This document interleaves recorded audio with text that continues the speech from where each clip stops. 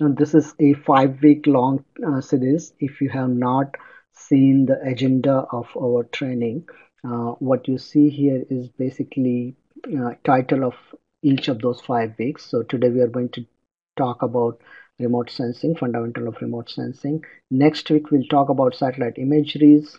In week 3 we'll talk about the aerosols data which can be related to particulate matter air quality and then the trace gas uh, data sets will be talked in week 4 and in the week 5 basically we will review all the material and then provide you what are the upcoming future satellite missions to help uh, air quality monitoring. So this is so let's talk about fundamental of satellite remote sensing. So the first questions uh, come to our mind is what is remote sensing so remote sensing is uh, the science of obtaining information about an object or an area from a distance. And one of the simplest uh, example of remote sensing sensor is our eye is actually a natural uh, remote sensing sensors which can obtain information uh, about an object from distance. So this is one of the simplest example. Uh, simple photographic camera is another most frequently used remote sensing sensor uh, which can capture images um, and record them from distance. So these are really great example of uh, how uh, remote sensing sensor works uh, and what they really do. Looking more into detail and going into satellite things, so remote sensing instrument uh, again collects information about object or event within the instantaneous field of view. So in this picture what you see here is a object sitting on the earth which are some vegetations. And then you have a remote sensing sensors uh, installed or located on a suborbital platform like a space uh, like a aircraft or a spacecraft like satellite. And it is looking down uh, and then when it looks down the height of the satellite or the plate sensors really does decide uh, a lot of uh, quality and quantity of information you can get. And then the instantaneous field of view also make play an important role in deciding how accurately or high precisely you can get certain information about the object moving forward, these uh, remote sensing uh, sensors or instruments uh, can be uh, placed in many different platforms. Uh, your application basically uh, help you decide which platform is most useful to you. there are several questions that need to be answered to determine which platform is most useful, such as how much detail do you need and how frequently do you need this information. Uh, these in the pictures what you see are examples of uh, remote sensing sensors which are placed either on some kind of a vehicle which is moving and you can make measurements uh, uh, of certain area while uh, moving around this vehicle. So you can put those sensors as well. You can also put the sensors on the balloon uh, which can fly up in the atmosphere and take measurement in different altitudes uh, or different height in the atmosphere. And these are really very useful uh, when you want to get information about atmospheric component in at a different height you can also fly airplanes uh, with remote sensing sensors and they also are very useful uh, for getting a specific information over a specific area. And then the satellite is of course uh, one of the most uh, useful remote sensing sensor which you can put on.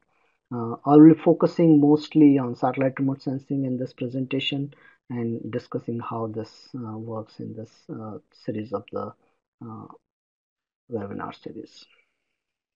So before we start uh, uh, understanding the remote sensing process, uh, it is uh, important to understand something about the source of energy or the information carrier in uh, when we talk about the remote sensing. So uh, electromagnetic radiations travels through the space in form of waves uh, and it originates from the in our case uh, we are mostly talking about the sun's solar energy the waves have different lengths in different part of the spectrum. Uh, as you can see here uh, in this chart on the right side of the slide that uh, this electromagnetic spectrum has a different wavelength. Uh, although we are talking about light most of electromagnetic spectrum uh, we cannot detect by human eyes. So if you look this spectrum it is very wide and visible is just one tiny part of this spectrum which we or human can see through the eyes. Uh, as you go towards ultraviolet x-ray and gamma rays the wavelength decreases. And as you move from uh, left from the visible like uh, microwave radio waves infrared the wavelength increases. And for your uh, just to give an analogy to check the size of this wavelength we have some uh, some of the reference material which you can correlate to this uh, length of this uh, radiation. And most of the uh, remote sensing sensors uh, uh, for air quality specifically for particles they works in the visible part of the solar spectrum. There are some which can provide information in ultraviolet uh, and then we also use infrared to detect some other uh, atmospheric phenomena. So this electromagnetic radiation is very, very, very important uh, in uh, understanding the satellite remote sensing and how it works and how the information is carried. So depending on the purpose, uh, different satellite uh, capture a specific portion of this entire electromagnetic spectrum which we use. Now, the next thing is to understand is how satellite and sensors collect this information. So, uh, optical or passive remote sensing depends on the sun as a source of uh, source of illumination or the source of energy, as we discussed in the previous slide. And this solar radiation, uh, as it emits from the source sun, it passes through the atmosphere and it interacts with the atmospheric component. Uh, it also interact with the objects which are located on the surface. So in this case, either it's vegetations, water bodies, bare soil, uh, build up areas, buildings, uh, parks, everything which is located on the surface, the incoming solar radiation interact. And now once the incoming solar radiation interact, depending on the property of the incoming solar radiation which means the wavelength and depending on the property of these objects uh, it will either absorb by those objects or reflect back to the space.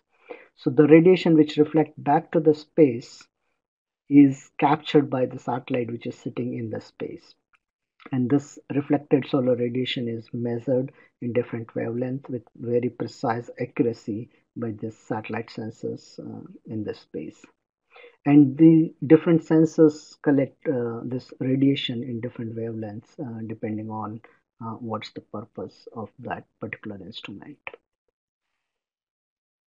Uh, the intensity of uh, reflected and emitted radiation to space is influenced by the surface. So it can influence by the ocean. If there is a snow ice on the surface that can influence um, very bright areas such as desert can influence uh, forest or vegetation can influence in a different way. So each this surface property type of surface influence the incoming solar radiation in different ways and of course the atmospheric condition also influence this uh, incoming solar radiation uh, different temperature influence in different ways amount of water vapor or humidity in the atmospheres, uh, clouds, rain, uh, aerosols or the particles in the atmosphere uh, interact with the solar radiation and influence it. So different wavelength respond to different geophysical quantities uh, uh, and the physical properties of the surface uh, or the atmosphere. For example, significant uh, amount of solar radiation is uh, reflected back to space uh, by snow, ice, or cloud uh, as compared to vegetation. So if you have a cloud or a snow, and that's why we see them very bright object when we look the satellite image. And we'll see some of those example in week two when we look into the satellite imagery uh, in more detail. Uh, one thing to understand when working with the satellite data is that uh, this reflected or emitted radiation uh, from the Earth's surface must travel through the atmosphere uh, before it reaches to the satellite. So sometime, uh, depending on again application, we have to do this corrections to the satellite data for these atmospheric conditions. And in most cases, uh, we have to perform this kind of uh, correction. So uh, to to make sure that we are retrieving information uh, which is relevant to our use. And this atmospheric uh, corrections are often very useful for air quality studies uh, because uh, for air quality we are trying to obtain information about the particle or gases which are in the atmosphere. So when we talk about the air quality information, instead of correcting for the atmospheric condition, uh, we have to correct for the surface conditions. So if surface is bright, if there is a vegetation, we have to uh, take into account uh, uh, the contribution from the surface and take out that from the total signal.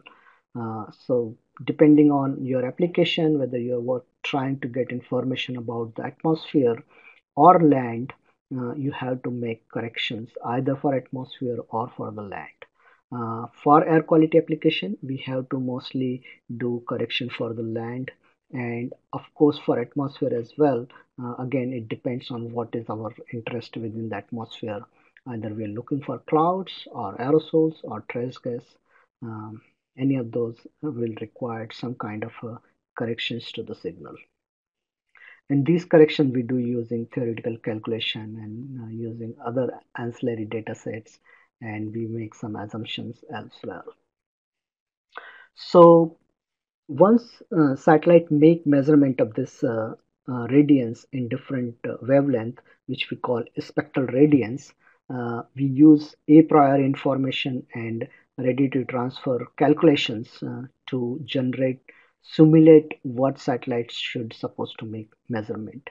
And then we combine these two piece of information in something we call retrieval algorithm. And these algorithms are mostly inversion algorithm where we try to match satellite measured radiance with a priori or theoretically calculate radiance and come up with the geophysical quantities uh, such as temperature, wind speed, water vapor, relative humidity, know, aerosol number of particles, concentrations, or trace gas concentrations, or aerosol optical depth, which is term which we often use for air quality and which will uh, go into more detail in week three. Uh, we retrieve this geophysical parameter. And since it does involve a a priori information and theoretical calculation, uh, there are some assumptions which goes into that. And that can create some of uncertainty in the retrieval of these geophysical parameters.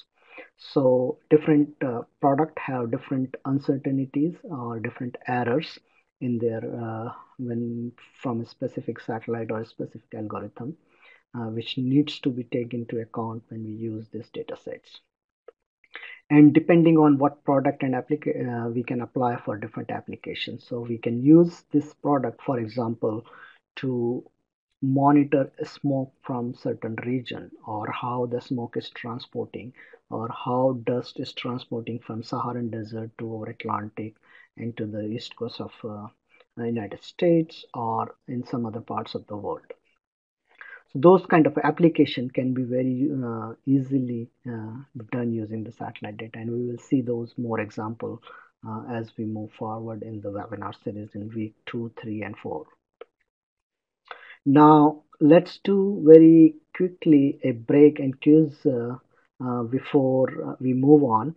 So I have few questions here again in form of poll and let's take about 30 sec one minute time to answer these. Uh, and these are just based on what we have looked so far in terms of the number of in the slides.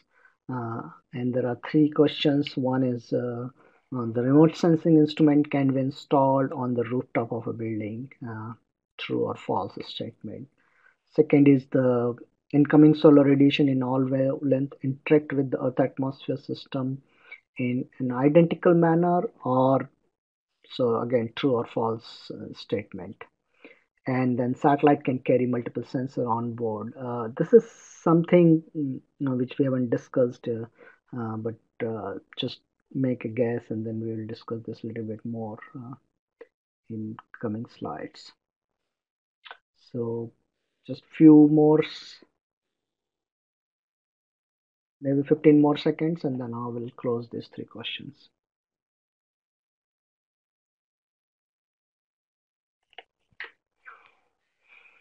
Okay, so let's, uh, the remote sensing instrument can be installed on rooftop of building.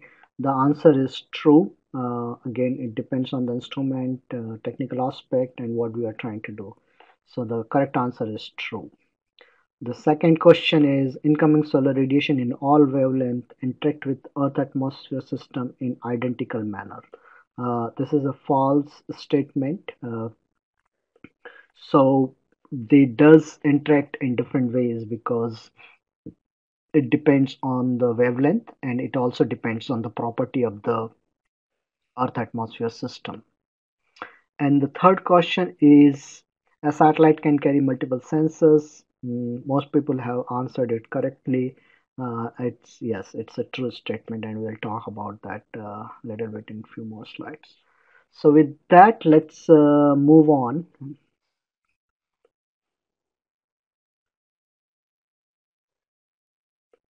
To continue, uh, let's talk about satellite sensors and some of the orbits. Uh, some of this terminology is important to understand uh, because uh, when you start using the satellite data, you will often hear these terminologies. And if we don't understand, we can misrepresent the data and we can misinterpret uh, the results of our analysis. So uh, Earth observing satellite typically have names such as the one listed here. Uh, there are Aqua satellite and Aura satellites, and uh, these uh, remote sensing instruments actually. Uh, so there are two terms here. Uh, one is satellite and one is sensor. So the satellite is basically a platform uh, on which we install sensors or instruments. So uh, satellite is kind of a carrier for the sensors uh, on which we install these sensors. So uh, satellite can be one satellite can have multiple instrument. In this case, for example, in Aqua satellite we have six instrument, and on the other hand we have an another satellite, Aura satellite, which have four instrument. Uh, Aqua satellite, the two of the highlighted uh, MODIS and AIRS are sensors which provide some kind of information on air quality. The Aura satellite is designed to actually get information about atmospheric chemistry and it has four different instruments uh, which provide different pieces of uh, atmospheric uh, um, information. For example, OMI uh, is ozone monitoring instrument. It is designed to monitor uh, atmospheric ozone. It does also provide information about absorbing aerosols and other things. And then there are other instrument which does provide uh, different pieces of information. So remember the satellites are the platform on which sensors are installed.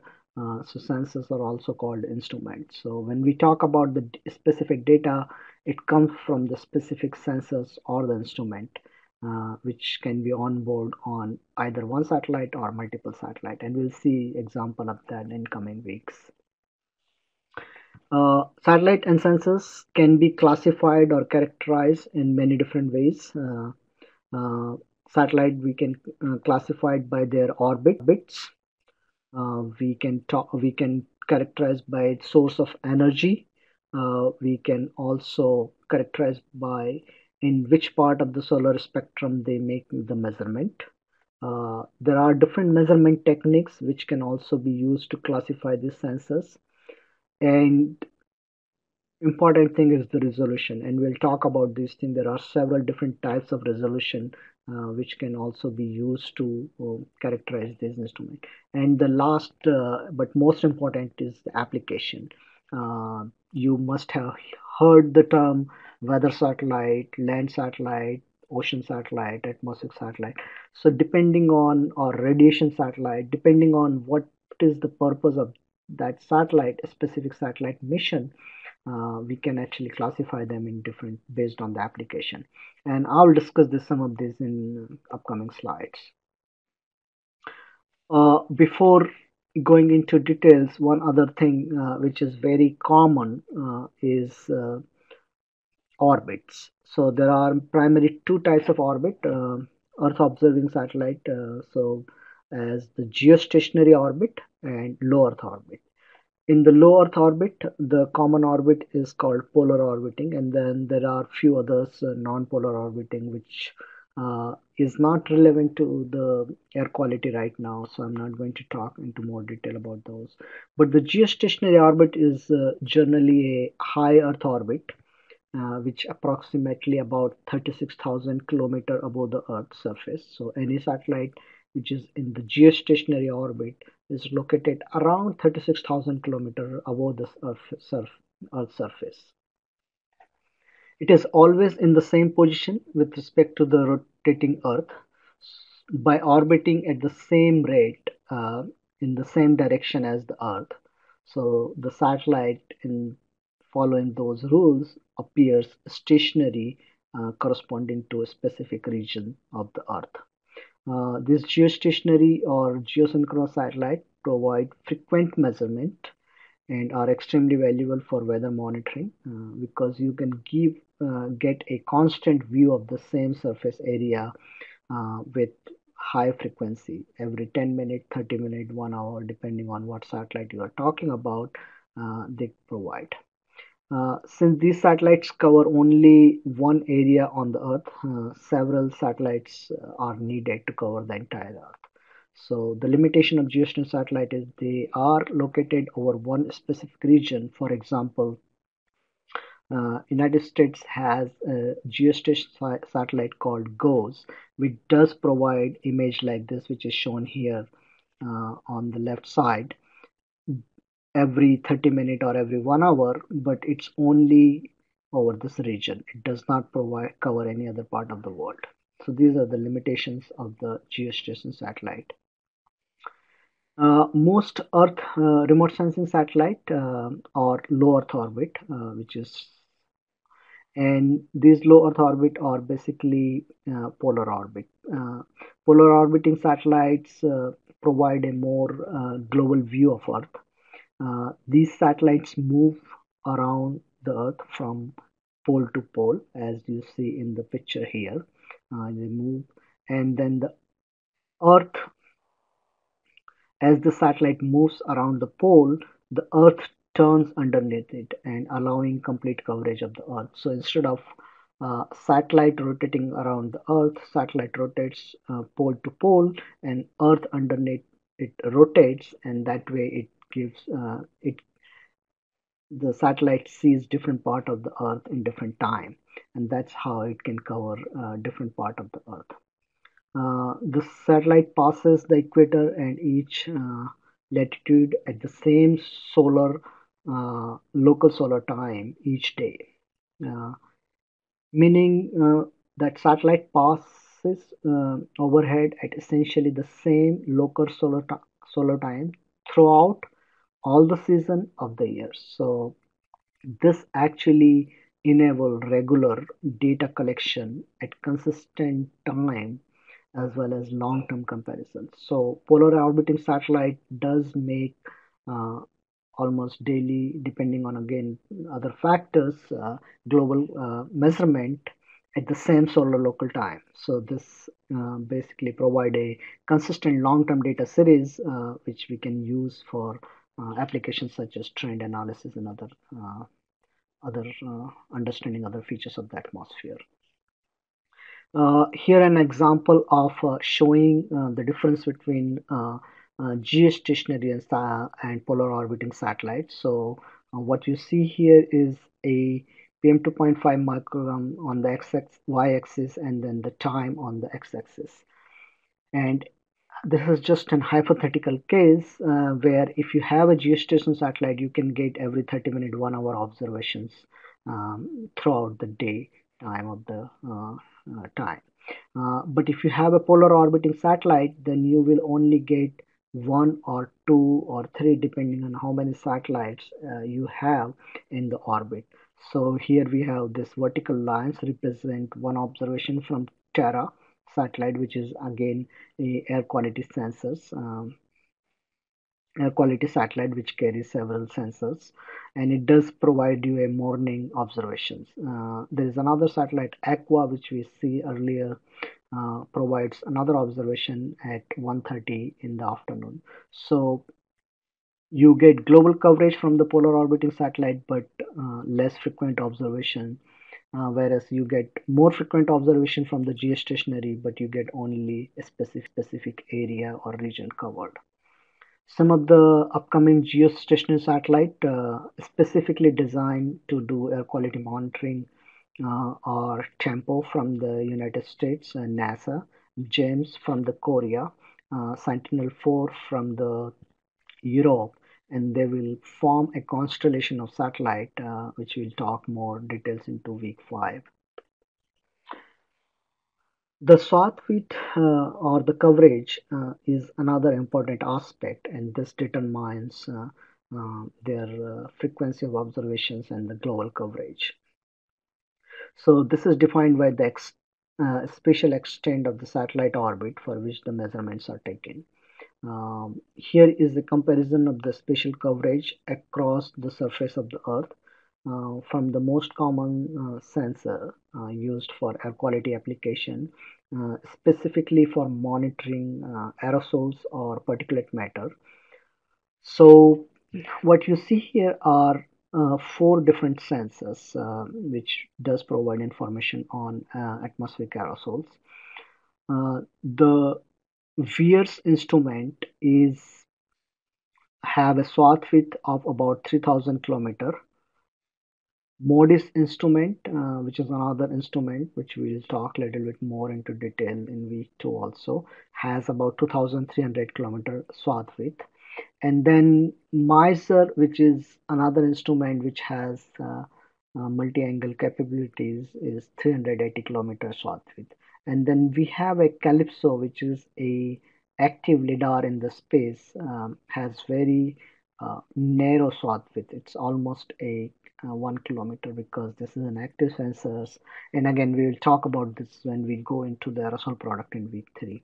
But what is important here to understand is that different sensors have a different uh, swath width or the spatial coverage uh, and that actually determine their global coverage, their frequency of observation over particular location, or the detail of the information they can get about the air quality. Uh, here an example of these three uh, sensors which we just talked in the previous slide. So if you look the MODIS one day coverage, then what you see here is on the top is basically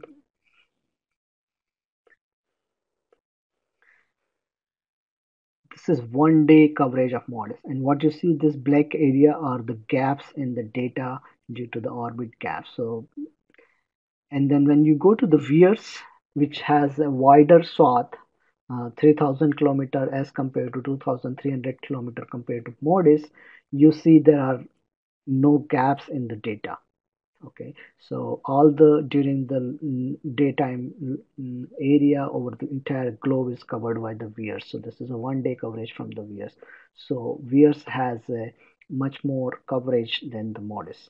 And if we go to the MISR which has a 380 kilometer swath width then you can see that there is a huge area. This all this black area is actually uh, data gaps in the MISR so because of this uh, narrow swath width of MISR, uh, it does uh, take longer time, seven to eight days, uh, to cover the entire globe. Uh, and this time period also varies over actually different uh, latitude wells uh, depending on where you are interested on the surface of Earth. Another important aspect of satellite remote sensing is to understand whether the sensors are passive or active. Uh, most of air quality sensors are passive except few of them. Uh, remote sensing systems that measure naturally available energy are called passive sensors. So in this picture, you see a satellite is there. It's making measurement of the Earth atmosphere system, but it is using sun's energy to make those measurements. So sun's energy, like we talked earlier, go through the atmosphere, get reflected back to the space, satellite makes measurement, and that's how the passive sensors make the measurement. It does not have its own source of energy. It uses sun or earth emitted radiation. Some of the examples of these uh, passive sensors, which we just looked previously, MODIS, MISR, OMI, uh, VIIRS, these are all passive sensors.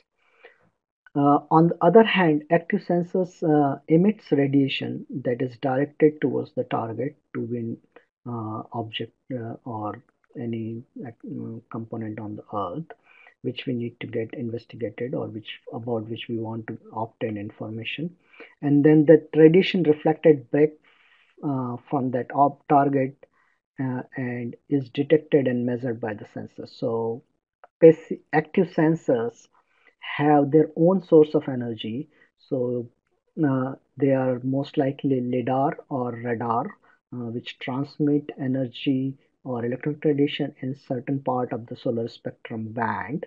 And then it travels through the atmosphere, interact with the atmospheric component or the land surface on the earth, and then reflect back to the sensor. And then there is a huge telescope uh, mounted on the satellite, which uh, capture that radiation which is reflected back. And by making that measurement you get more accurate information uh, because in this case we are uh, our source of energy is known uh, very well characterized. And this also helps uh, to get the because this energy depending on the time to travel it back we can estimate uh, different layer of the atmosphere. We can get the information about different uh, uh, layers of the atmosphere or different altitude. Uh, CALIPSO is one of the example of such satellite is a two wavelength active lidar in the space uh, which does provide important information about uh, clouds aerosols different types of aerosols and many other, other information which can be relevant for air quality monitoring, specifically transport activities in different altitude of the atmosphere. Okay, moving on to the resolution. Um, resolution are also very important uh, aspect of satellite remote sensing and there are different types of resolution spatial temporal spectral and radiometric resolution and we'll go by one by one to these and see uh, you know, what they mean. Uh, depending on the satellites, uh, its orbit configuration, um, its sensor design, uh, they can be different for different sensors. And this is one of the most uh, important aspect when we use the satellite data uh, for air quality application. before defining this resolution, uh, I would like to define a term which you will often hear when you use the satellite data is called pixels. Uh, this is the smallest unit of an image in simplest word if you want to learn it. So what you see here is on left is an satellite image and if you take any part of this image this image is divided into uh, array of this small unit and each of this unit is called actually a pixel um, these are the smallest unit of this image. Uh, they are arranged in column and rows. Uh, and every uh, digital image is basically comp uh, comprised of two uh, dimensional array of individual picture element And these are we called uh, pixel. and this is more a technical definition Uh, but essentially, each of these pixels uh, represents certain area on the surface of the Earth. Uh, each pixel has an intensity value and location address in terms of latitude and longitude uh, in this two-dimensional image. Uh, the spatial resolution of any satellite or any image is defined by the size of this pixel. So this pixel size could be in centimeter, meter, kilometer, depending on what satellite we are looking at. So, and to look into more detail about the importance of the size of this pixel or the spatial resolution, here I have a picture uh, taken by uh, uh, a low, low orbiting platform uh, such as the aircraft in different spatial resolution over a, a locations on the earth.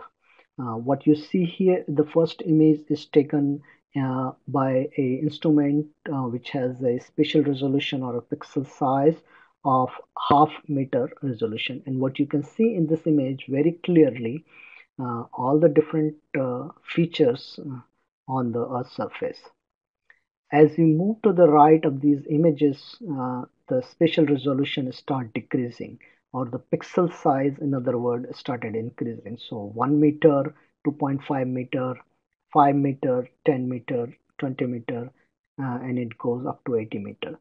But what you see here is as we start increasing the pixel size or as we start in other words decreasing the spatial resolution the clarity or the ability to distinguish different uh, part of the image clearly uh, start we start getting the image more fuzzy or haziness. So uh, you can see at 5 meter resolution you can still see some features but when you go to the 10 meter resolution things get started very fuzzy. And it really depends on how much detail you want to get information about this thing. So spatial resolution really plays an important role in identifying different features uh, on the earth surface mm. uh, spatial resolution is more important uh, when we try to get information about the land surface here are the, some of the sensors uh, which are used for air quality application and their spatial resolution varies from 250 meter to 13 by 24 kilometer again depending on which sensor and which product we are trying to use. Uh, another term is spectral resolution. Spectral resolution describe the ability of a sensors to define the fine wavelength interval. Uh, the finer the spectral resolution, the narrower the wavelength range for which a particular uh, channel or band is making measurement. Uh, there, in this example here, there are two different uh, example one is the black and white so if you have a uh, band which is all the way starting from 0.4 to 0.7 and what you will get in the entire band is basically black and white film type of. So you have a band with which is very broad all the way from 0.4 to 0.7 nanometers. So the value you will get is only black and white film type. But if you divide this same uh, bandwidth into three different spectral band uh, blue, green, and red, uh, and you can make measurement in three, this specific band, then you get three piece of information. And when you combine these three piece of information, you get a colored uh, picture of the same scene. And we will see this more into detail when we go to the week two and uh, understand the satellite imageries. Uh, typically, there are two types of uh, instrument, low spectral resolution such as MODIS and then there are hyperspectral uh, sensors which are like OMI and AIRS. So these hyperspectral uh, sensors make measurement on every single wavelength. Uh, they have a, spe a, spectral resolution of one nanometer or higher, uh, whereas this low spectral resolution sensors MODIS they have a, a spectral resolution of 20 nanometer or more than that. Uh, here is an, an, example of a spectral resolution important. So again, if you want to get information about the specific uh, uh, geophysical quantity on the earth or in the atmosphere then depending on their spectral behavior for that uh, interaction with incoming solar radiation, you will need different type of spectral resolution. So if you have a broadband instrument, then it will be very hard to differentiate between the different classes. But if you have a narrowband instrument, hyperspectral instrument with high spectral resolution, then you can actually differentiate between different classes. So spectral resolution uh, becomes very important when we want to separate things in the atmosphere or on the Earth's surface.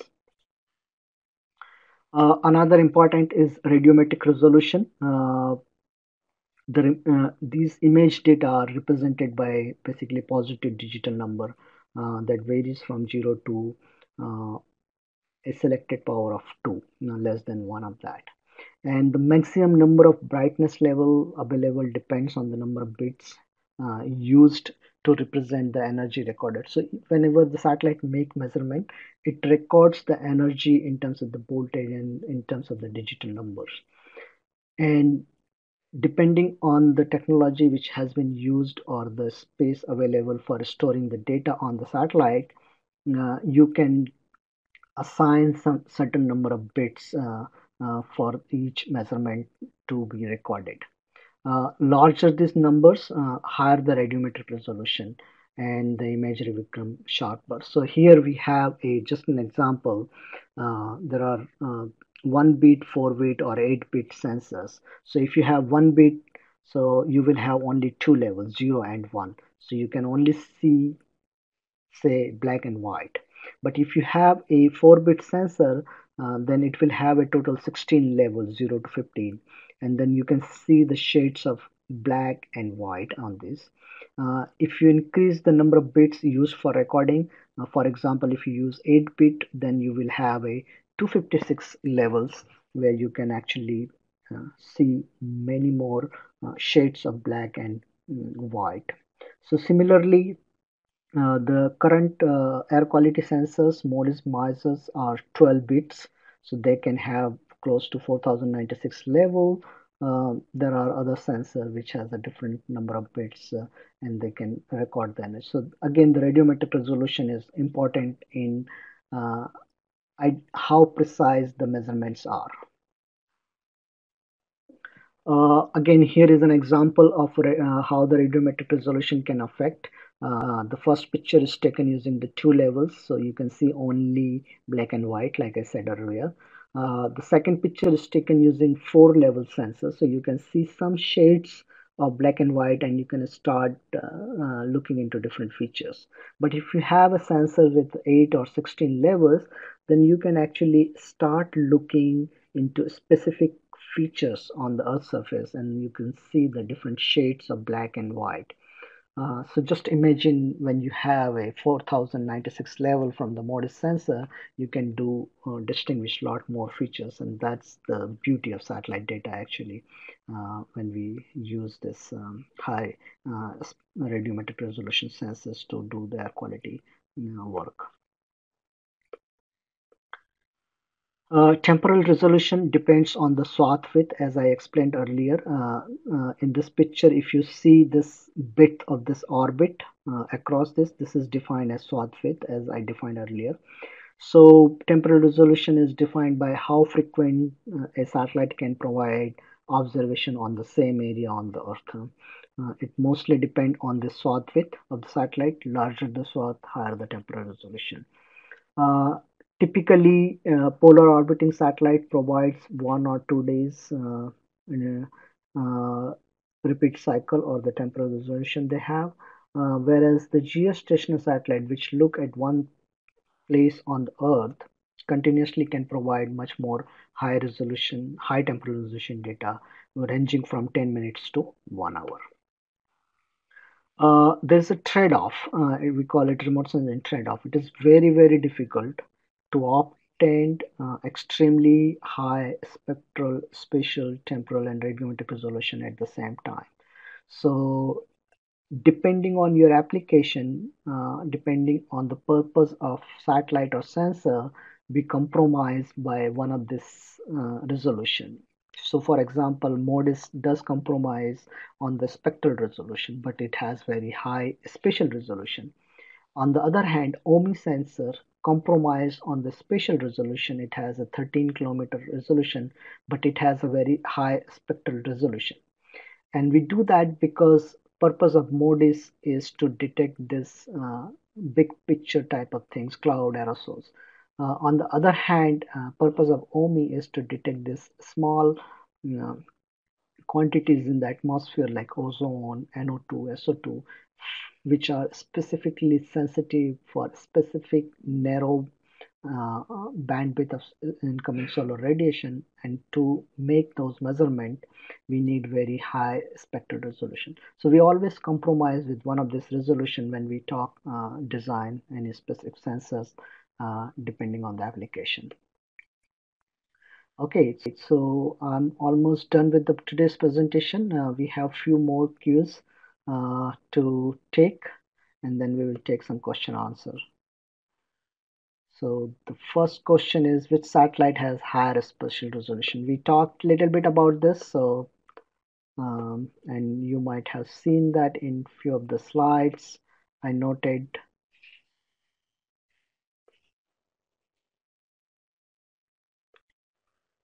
again the second question is uh,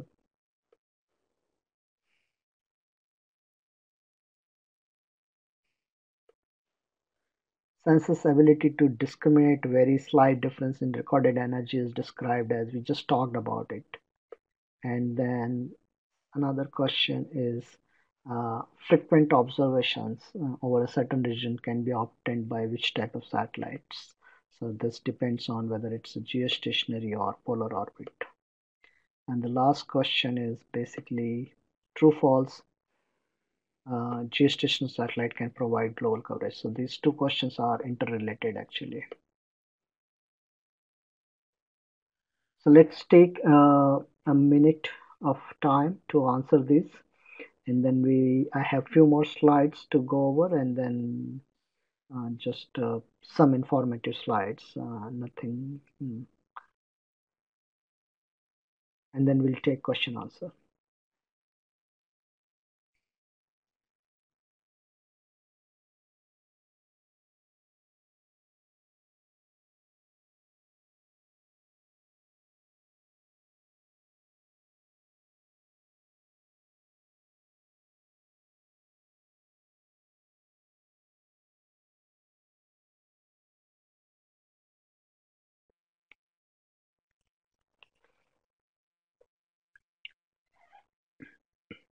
Okay, so the first question is which satellite has higher spatial resolution? so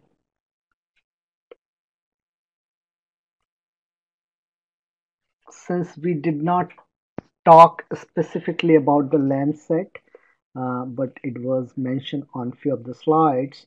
Uh, but Landsat has higher spatial resolution. Its uh, current Landsat data has 30 meter resolution, uh, whereas the MODIS is 250 meter resolution. So the correct answer is the Landsat. Although we do not use Landsat for air quality application, uh, but sometime you can use for the uh, surface mapping.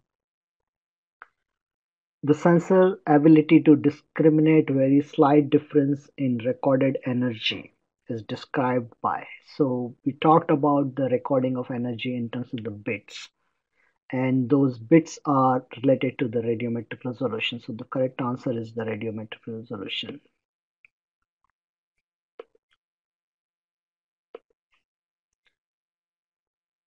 The next question is uh, frequent observations over certain regions can be obtained using which satellite? And the correct answer for this is the geostationary because we are talking about hourly observation and to do that uh, the satellite has to be in the geostationary. Polar orbiting satellite cannot do that kind of thing. So the correct answer is geostationary satellite. And the last question is true false statement geostationary satellite can provide global coverage so again if you answered this correctly the previous question this should be very uh, the answer of this is false so geostationary satellite cannot provide uh, global coverage. They can only provide coverage over a certain area. Uh, polar orbiting satellite does provide global coverage. Uh, with that, let's move on, and I want to provide you some more um, basic information. So I'm going to move these questions away.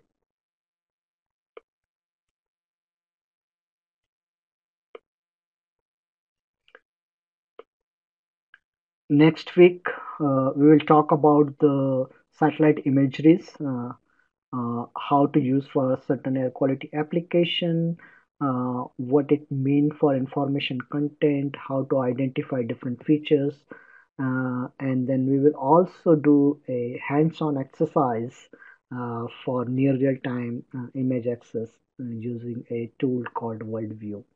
And then we'll go over some of the application, how we can use WorldView to access near real-time satellite imageries.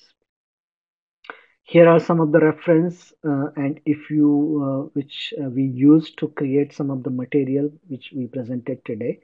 And some of the if you're really interested in learning more about some of the terms or if you by any chance did not uh, understood a specific terminology or want to really uh, learn more about fundamental of satellite remote sensing then there are several very useful tutorial online with graphics and a lot of text for explanation uh, which you can go through and mm, some of them are suggested here. The good news for this is there is no assignment for this webinar series so we will not have any assignment. We will try to uh, have this quizzes uh, in each session but we will no have no assignment for you to work on. We get often uh, request for the certificates uh, and questions. So in order to receive the certificate for this webinar series you must attend all the sessions either live or by using the recording which we put on our website. And uh, when you see the recording we get the uh, we keep that record. Our software does uh, record that that information uh, how much you have watched uh, that recording. So based on those two criteria we issue the certificates. So please if you are requesting for a certificate make sure you have fulfilled those conditions. This is must required to issue a certificate all the materials uh, and the recording uh, from this uh, webinar series will be available on this link here. Uh, you can access uh, agenda uh, recording ppt everything from this website which is ARSET website. And then again I have a contact information. If you have a technical question from the today's session you can contact me uh, if you have a specific uh, logistic questions how to access material if you are fine and trouble in finding a specific material you have question about any upcoming future trainings or any other software related uh, uh trouble please contact Brock uh, Blevin. He will be happy to help you. With that I will be happy to take questions if you have. Thank you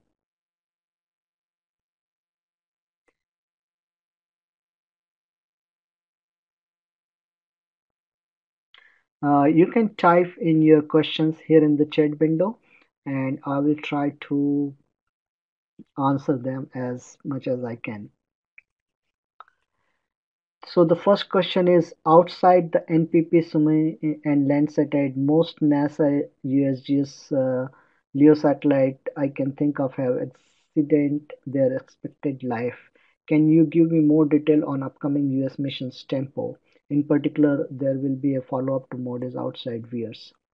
Okay, so basically we will talk about the all these issues in the week five, but just to um, briefly answer your question, yes, uh, Tempo is uh, a mission which is going to be launched uh, in about 2020 uh, the expected lifetime of Tempo will be about five years and is specifically designed to address several air quality issues in the US.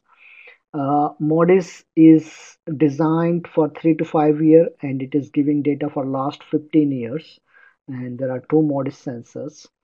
Uh, now we have a the next generation, the Modis does not have exact follow-up, but it has VIIRS, which is provide almost similar information, not exactly the same, but almost similar information as Modis. And VIIRS will have follow-up missions. So there is a uh, uh, it's a NOAA NASA partnership mission. Uh, there is a currently one VIIRS which is launched in 2010 is working. Uh, in 2017, I think next year another VIIRS will be launched on just uh, uh, another NOAA satellite and there are more VIIRS instrument which are already planned uh, for uh, upcoming missions. So VIIRS will have continuous measurement for next uh, 20 30 years, I would say, um, but not exactly like MODIS. It has slight differences, and we'll talk those more details in week five.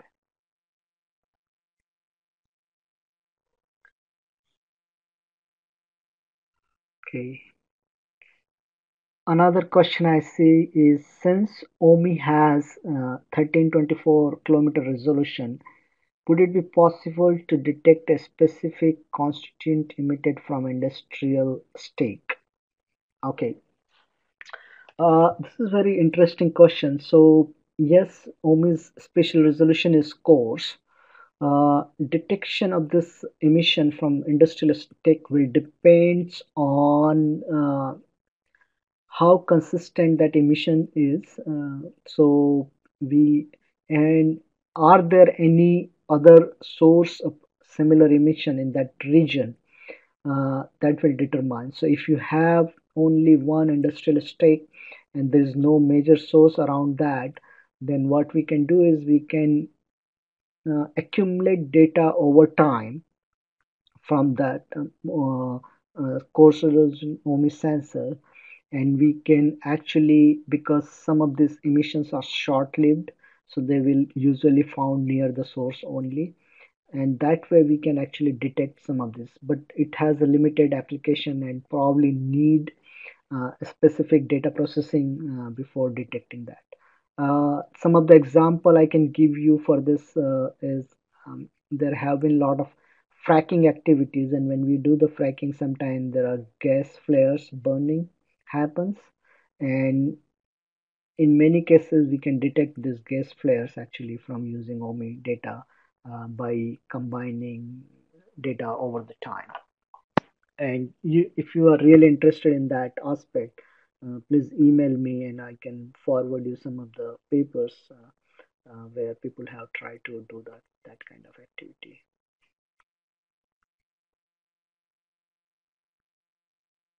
Okay, there is another question. I think this is related to the Python code for comprehending modis data for AOD possible. Yes, we have. I am not really 100% sure if I understood the question, but we do have a sample Python code on our website which can uh, read the modis aerosol data.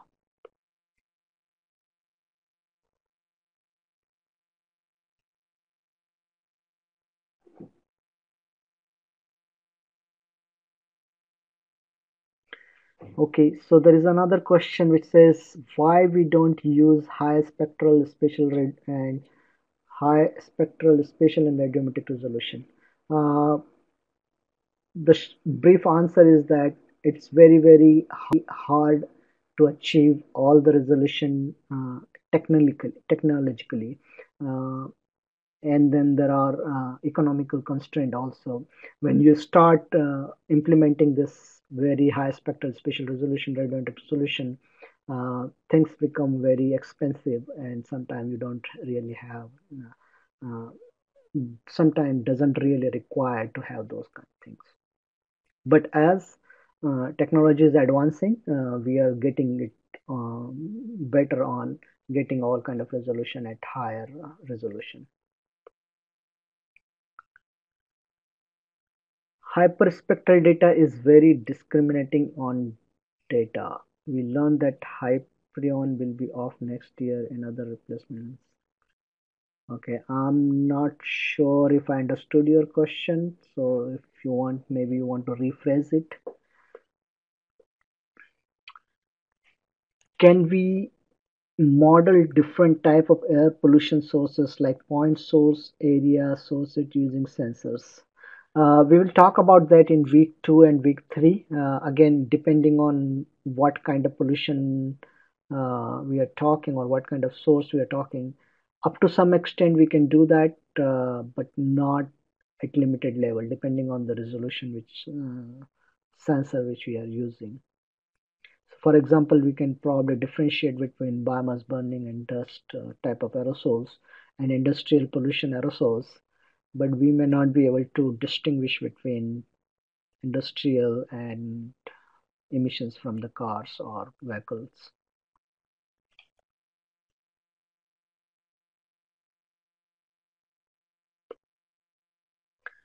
Uh, there is a suggestion, can you make a class on Python? Uh, uh, Python is very popular language and uh, the, if you Google or search online, you will find uh, very useful tutorials. Uh, we have done a hands-on exercise using Python in our advanced webinar and if time and resources permits, probably we will uh, do more uh, uh, trainings which will use Python codes to extract the satellite data.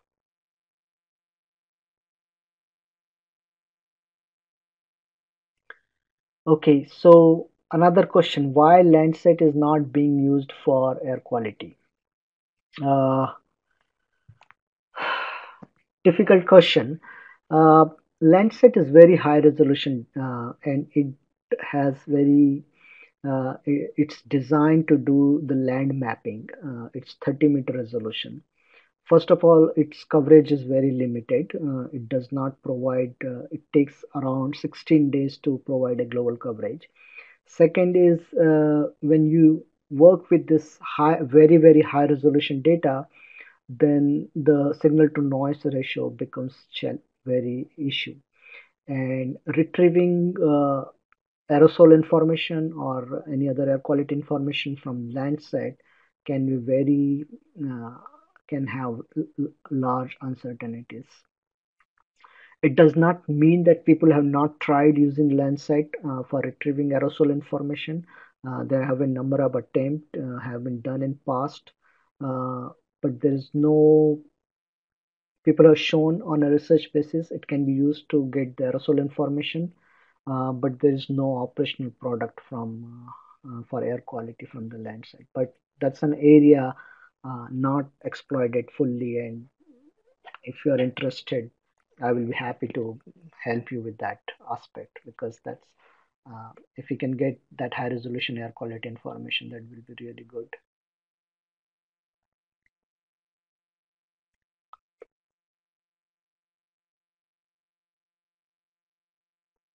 Okay.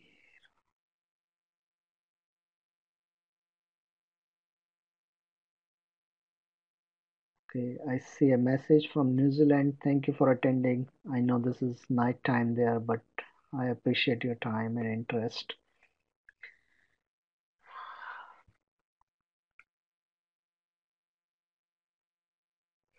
Okay, there's another question. How calibrated these sensors are with passage of time okay so yes that's very important question uh, when this uh, satellite like i said designed for three to five years to work uh, it is very important to make sure that these sensors are stay their quality does not degrade. Uh, over the time uh, quality of these sensors and measurement quality does degrade. So there have there is a specific team of people actually who uh, make sure that the sensors are calibrated and there's no problem in that. Uh, some sensors have onboard calibrations. They do once in a while calibrate uh, with the moon or other source in the space or on the ground such as with, uh, which are relatively constant uh, over the time. And there are other lab-based calibration which we do pre-launch. Sometimes we have to make adjustment to the calibration coefficients uh, as you uh, mentioned that uh, as time passes, the quality or the life of the sensors degraded. Uh, and to make sure their performance uh, or their uh, quality of the data they are providing is high, we have to continuously keep an eye on the calibration.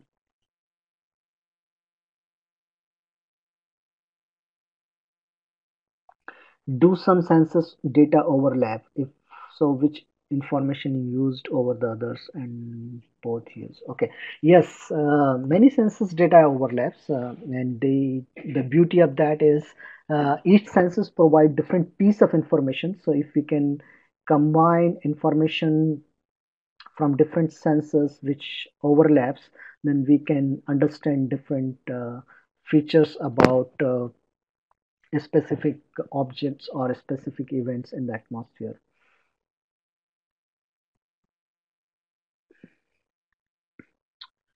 Uh, another question, can we use MODIS or Landsat to estimate air quality over city? Uh, the answer is yes. And to learn a little bit more about that, we'll talk in week uh, three uh, and four for on that more details.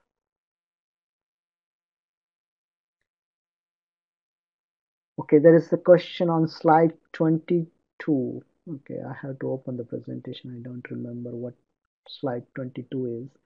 Uh,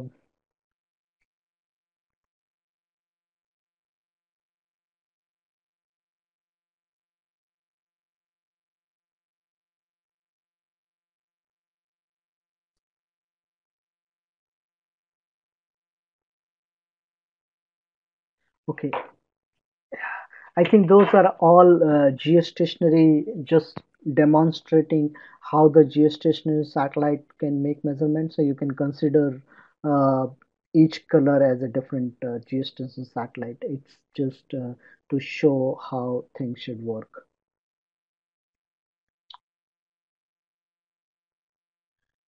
Another question, do you combine data from the different instrument? Uh, yes, uh, very often. Uh, because each instrument, like I said earlier, provide specific information. And if you want to understand complete picture or answer several questions, then often we have to combine uh, data from different sensors.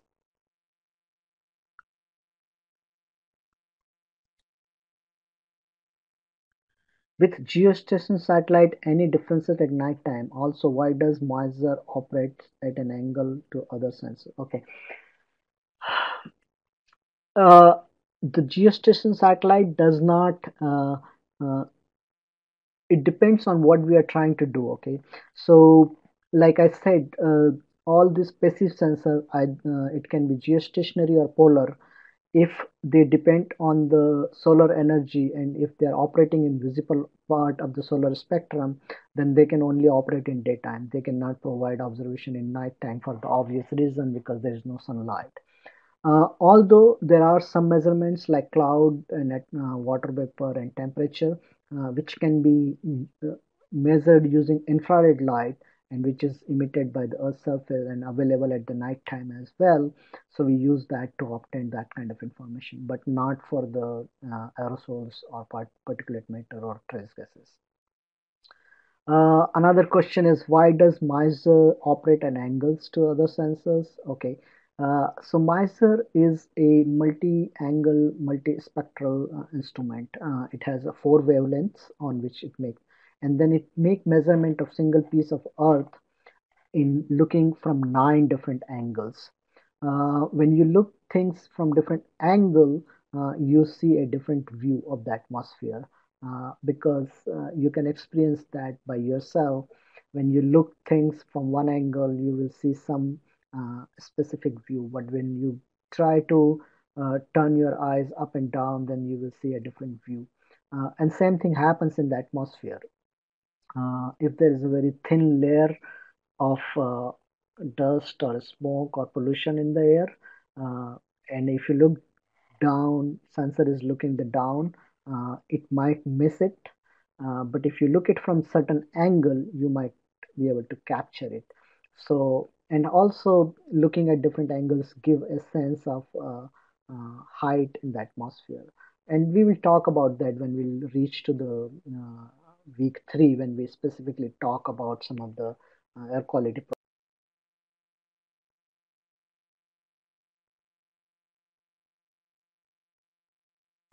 possible to overcome the limitation of geostationary and polar satellite by placing one obliquely to one them. I'm not okay sorry i'm not sure if i understand your question. Uh, if you can clarify it.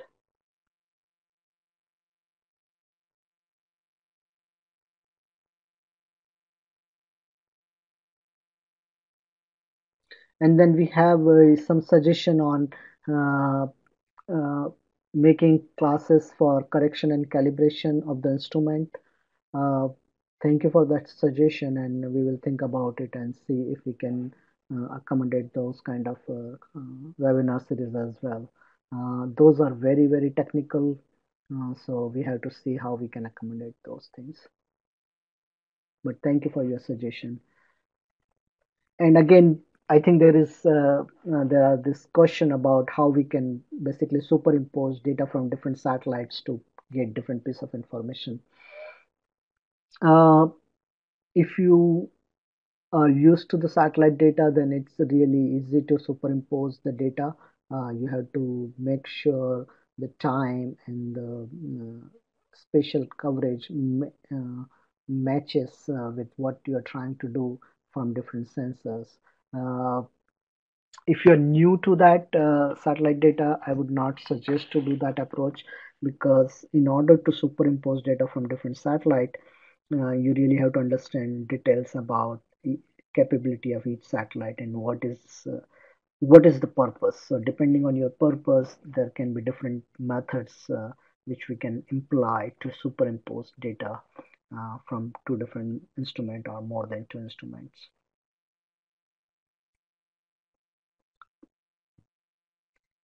Okay, I think uh, I don't see any more questions. So if you have more questions, feel free to email me.